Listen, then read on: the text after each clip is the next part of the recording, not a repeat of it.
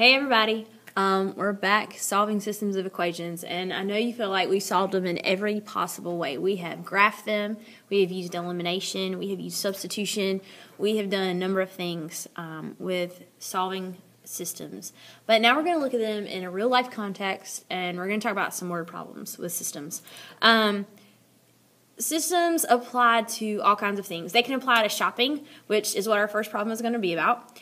Um, they can apply to chickens and cows and pigs and how many of them are in the barnyard based on the number of legs that you have. Um, they can also look at the number of cars and the number of buses and the number of trucks and the number of vehicles you took on a trip. Um, and you can figure out what kind each one was. So there are a lot of different options that we have when we're using systems, and we can use them to solve a variety of problems. So if you look at the first problem on your notes page, um, it is about Kristen. And Kristen spent $131 on shirts. Fancy shirts cost her $28. Plain shirts cost her 15. If she bought a total of 7 shirts, then how many of each kind did she buy? Well, with systems, we've been working with X and Y, and we've had um, two variables, obviously, X and Y. So here, we've got fancy shirts and we've got plain shirts. So we're going to have two variables. So for fancy shirts, we need to know how many she bought. So if we look at our problem and read it again, we know that she spent 131 on shirts. Fancy shirts cost $28. Plain shirts cost 15 and she bought a total of 7 shirts. So fancy shirts, they were $28. So I'm going to write that down.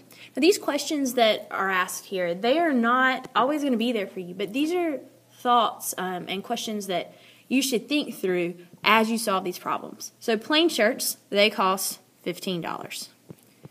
All right. Now, I try to group these um, equations by um, the topics we're talking about. So we just answered two questions that deal with what? They deal with price. Okay, so if they're dealing with price, I've got to um, set them up so that everything in that equation involves price. All right, so how much is the total cost of the shirts? If we look back, $131 is the total cost. So I'm going to write 131. Um, now, I've got to write an equation that represents the amount of money that um, Kristen spent on shirts. Well, we had how many types of shirts? We had two types of shirts. Okay, so if we have two types of shirts, here's what I'm going to do. I'm going to say that F is going to equal my fancy shirts and P is going to equal my plain shirts. All right? That just helps me to remember what it is I, exactly that I'm talking about when I pick those variables. They just help me to clarify things. So now, looking at that, we got fancy and plain. How much did the fancy shirts cost? Fancy shirts cost $28. So I'm going to call that 28F because the number of shirts that I'm buying, if I buy three, the total cost of those will be 3 times 28. So whatever the number of fancy shirts is, that's how much total they're going to cost me. So 28 times F. Now, that's going to be added to my total of plain shirts that I bought. Well, plain is represented by P. We don't know how many we bought, but we do know that they cost $15. So I'm going to do 15P because if I bought two plain shirts for 15 bucks, that's going to run me $30 because 2 times 15 is 30. And then we spent a total of $131. Now, 28 was a, a price, 15 was a price, and 131 was a cost. Those are all money values, all right? And they all go in one equation. So remember that. All the money values, they went in one equation. They all dealt with the same thing. This equation is all completely based on money. All right. So if you want to make a note um, that this is all based on money, please do. It'll help you remember. Okay, so moving on. All that's based on money. So clicking through, and how many shirts did Kristen buy? Well, we need to go back to our problem to determine that. So if we're going back to look at our problem, we see that Kristen bought how many shirts? Let's see. Looks like seven to me. She bought seven shirts. So Kristen bought a total of seven shirts looking at our problem. Now, we don't know how many of each kind that she bought. So we're going to let F represent fancy plus P, which represents plain, and that'll equal 7. So we have plain shirts plus fancy shirts gives us 7. All right. So we've got two equations now. So if we take those two equations, what we can do is we can solve them using systems of equations.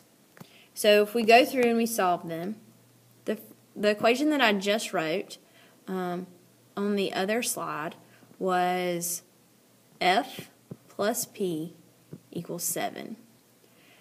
The other equation was 28f plus 15p equals 131. Now, we've learned several methods to solve systems of equations. Looking at how this one is set up, what do you think would be the best method to choose in this instance? If you said elimination, I would agree because our F's and our P's are stacked up on top of each other and all we have to do is multiply. Now, it doesn't matter who you eliminate. Um, I'm going to choose to eliminate P.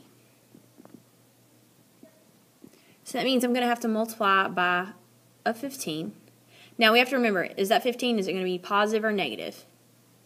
If you said negative, you're completely correct because these two P's have the same sign, and the key to elimination is they have to be opposite. So I'm going to make this 15 a negative 15.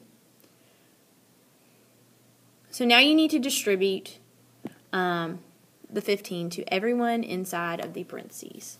So you get negative 15f minus 15p equals, it equals negative 105. And then we haven't um, done any math with the bottom equation, so what I'm going to do is I'm going to just write it down like we did before.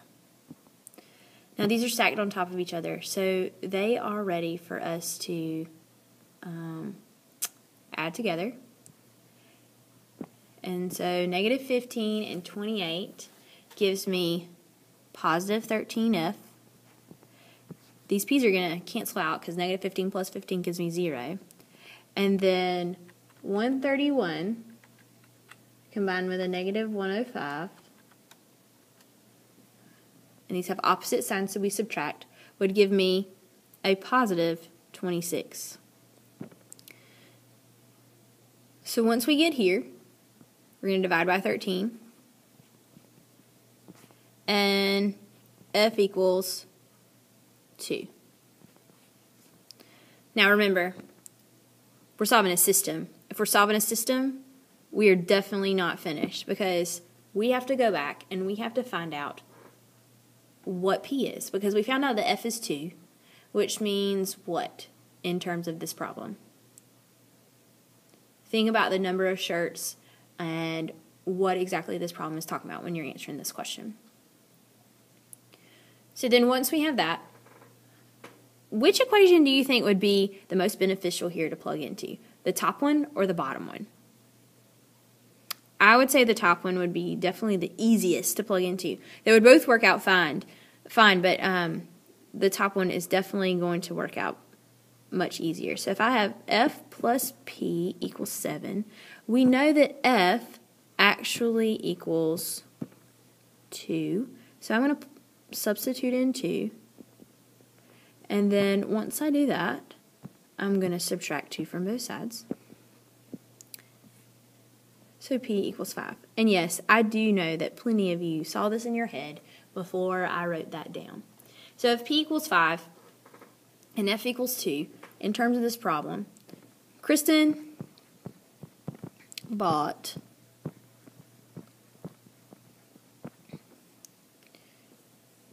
how many fancy shirts? Two. So two fancy shirts.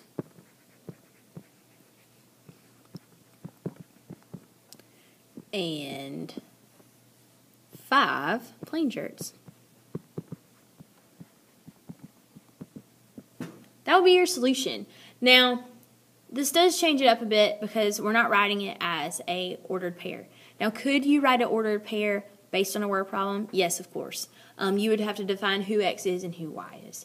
Um, but here we used f and p for our variables, and so um, we wrote a statement um, about what happened with Kristen shirts and how many she bought. Again, these questions that I went through, they will not always be there, but it's a thought process that you need to develop on um, what is happening in the problem. Do you have one equation? Do you have two? In this instance, we have two, so we use the system because that's what solving systems using elimination, substitution, or graphing are there for um, when we have more than one equation.